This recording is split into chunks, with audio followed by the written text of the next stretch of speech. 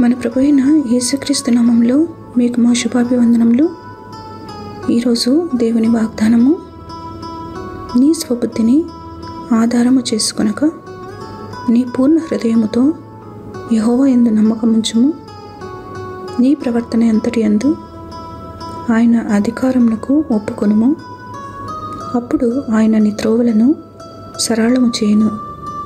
సామెతలు మూడవ అధ్యాయము ఐదు ఆరు వచనాలు trust in the Lord with all your heart and do not lean on your own understanding in all your ways acknowledge him and he will make a paths straight Proverbs chapter three verses five and six ప్రార్థన ప్రేమగల ప్రభు దయగల తండ్రి మాకు అనుగ్రహించిన నూతన దినమును బట్టి వందనాలు.